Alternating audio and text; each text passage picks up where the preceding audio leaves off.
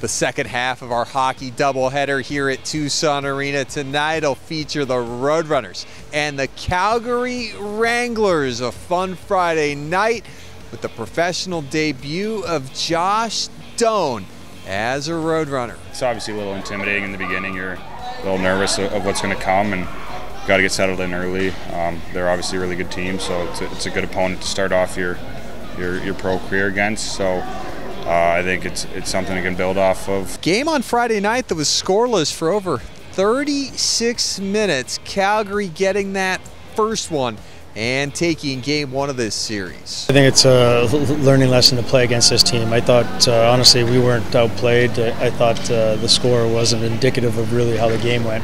I thought there were some key moments that we obviously need to to clean up a little bit, and uh, you know. We, we've got to execute some some plays on the power play. That's the bottom line. Our power play has to score goals, and uh, you know what? This goalie was really good tonight. That's a top-notch MVP goalie on that uh, that side, and uh, we got to see him firsthand. And stick around after the game tonight. Roadrunners will be bidding off these very very cool first responders jerseys.